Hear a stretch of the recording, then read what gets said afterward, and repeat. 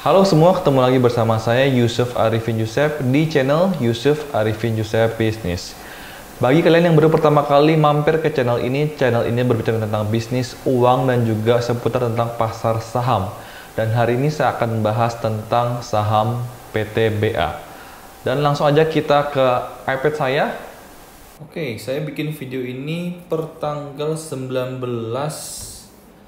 November 2020 ya uh, dan kita akan lihat sama-sama video saya di mana saya sempat informasikan saya akan beli PTBA.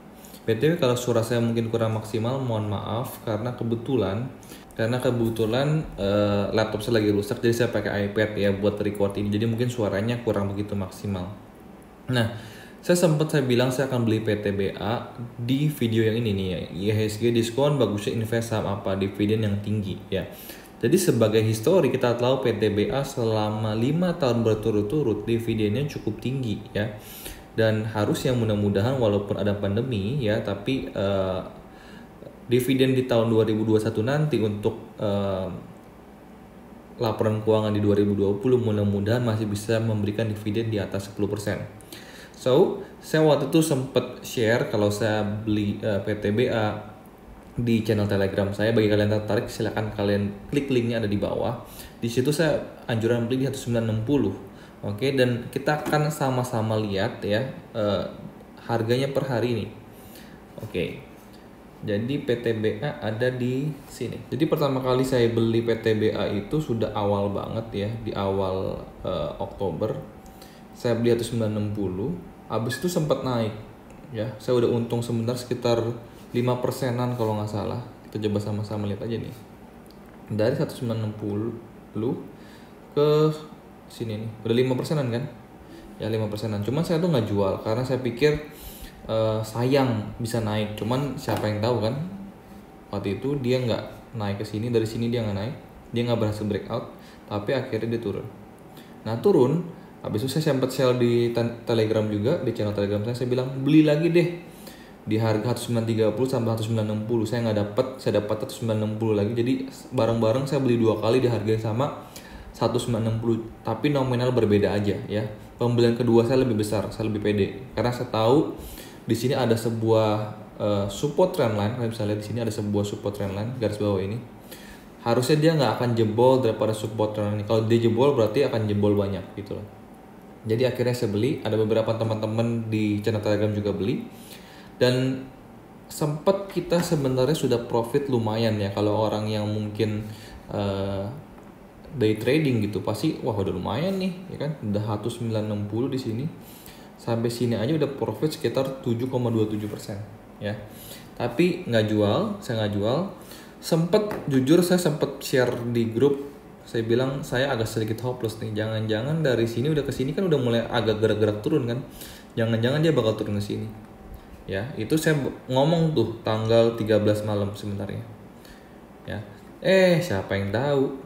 Ya tanggal 14 itu dia langsung ya naik kencang cepret dari sini langsung naik ke sini. Oke ya kan udah lumayan. Tapi dua hari dijual lagi ya kan? Udah mungkin sebagian udah untung banyak kan habis itu dijual lagi. Kita masih stop.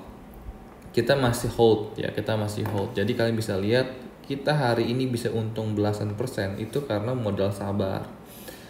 190 sampai hari ini 13 persen itu bukan sebuah iming-iming atau sebuah acuan beli. Cuman ini adalah sebuah nyata kalian bisa lihat. 13,69 persen atas nama saya sendiri itu nggak bohong ya. Kenapa? Karena di video waktu itu sebenarnya saya udah kasih tahu target saya itu sebenarnya tinggi banget ya. Minimal target kita ke arah sini. Jadi kalian bisa perhatikan ini target saya pribadi. Dari 1960 ke sini target saya 26% ditambah apabila ada ada dividen dari PTBA itu kurang lebih bisa 10% lagi. Jadi sekitar pendak saya pengennya harap bisa 30% ya. Nah pertanyaannya harusnya harusnya kalian bisa lihat di sini adalah sebuah resisten yang hari ini dijebol dengan volumenya yang cukup tinggi kalian bisa lihat ini adalah volume yang lebih tinggi daripada rata-rata biasanya ya. Dan hari ini berhasil dijebol dan harusnya akan ke arah sini ya. Harusnya dari sini akan ke arah sini. Tapi ke apakah lurus begitu? Saya rasa tidak. So saya tidak akan masuk lagi tapi tunggu tunggu dulu kenapa? Karena mungkin ya dia ini akan ada koreksi terlebih dahulu koreksi di mana prediksi saya ya jadi mungkin dia bakal naik dulu. Kita coba tarik Fibonacci nya dari sini ke sini ya. Ini udah 61,8 kalau dia bisa uh, di atas ini harusnya nanti di sini gitu loh ya. Jadi kalau dia naik nanti harusnya dia turun-turunnya lagi di 240 jadi harapan saya mungkin kalau dia nanti bakal naik lagi sini nggak mungkin semulus ini mungkin naik lagi. Habis itu dia baru turun lagi. Turunnya di mana? Turunnya mungkin di sini ya. Turunnya di sini baru kita ke arah sini. Jadi nggak akan semulus langsung ke 2480 pasti ada koreksi dan amit-amit pun kalau koreksi bukan di 2240 ya, bukan 240 sini, amit-amit pun dia akan ke support berikutnya yang hari ini sudah di break itu di area 2000 berapa nih? 1190-an ya di area situ. Kenapa saya nggak jual? Kenapa? Ya karena saya udah untung. Saya belinya harus 960 sih. Ngapain saya jual? Saya udah 10% kalau dia pun jebol di sana ini btw saya belum naikin saya punya stop loss nih ya.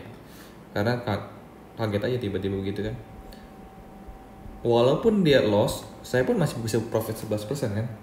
Karena harus saya beli di 960 ya jadi saya bakal masuk lagi. Saya nggak bakal masuk sekarang. Kenapa? Saya nunggu dia naik lagi turun. Nah turunnya itu baru saya beli ya prediksi saya saya akan beli di area support 290 lagi atau di 240 kalau Fibonacci-nya sekitar 1,8 nah itulah uh, analisis saya uh, untuk saham PTBA dan menurut saya ini sebuah garis support yang cukup uh, kokoh ya. Kenapa? Karena dia sudah di break juga. Kita bisa lihat bareng-bareng di sini. Ini adalah garis resisten dia dulu swing high dia dulu ya kan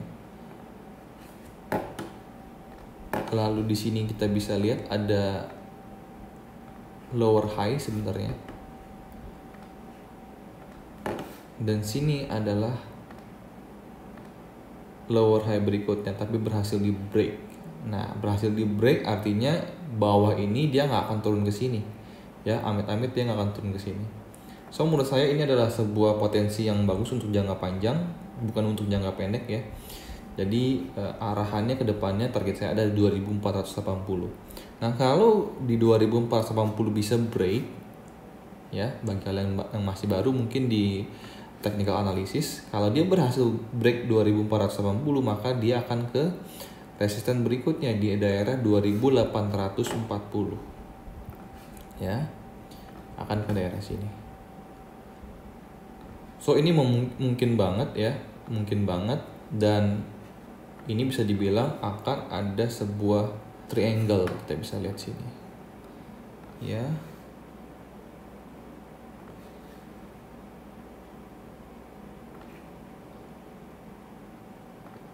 Ya kan? Ini adalah sebuah triangle kalau bisa lihat. Sebuah ascending triangle. So harapan saya tentunya setelah break uh, resisten di sini dia akan ke arah resisten di sini di 2480 lalu ke arah atasnya lagi di 2830 di saat itu mungkin profit kita sudah sangat banyak sekali ya. Orang kaget kenapa kita bisa belinya uh, untungnya banyak? Ya karena kita udah cicil dari dulu ya. Untungnya 44% mungkin ditambah uh, 10% dari daripada dividennya. Dan ini adalah sebuah uh, analisa dan saya sudah punya sahamnya. Jadi ini bukan sebuah acuan beli atau sebuah acakan beli tapi ya sebuah analisa saja. Apabila kalian ingin beli, jadi itu adalah resiko Anda sendiri ya.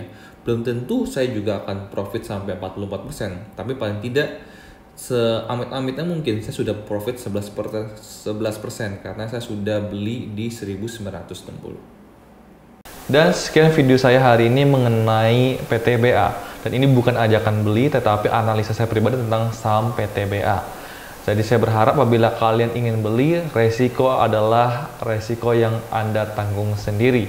Sampai ketemu di video berikutnya. Mudah-mudahan video ini bermanfaat dan apabila kalian suka video ini, silahkan support saya dengan tekan tombol like dan jangan lupa subscribe dan lonceng ditekan agar apabila saya keluar video baru, kalian bisa langsung ternotifikasi. Sampai ketemu di video berikutnya. Bye bye.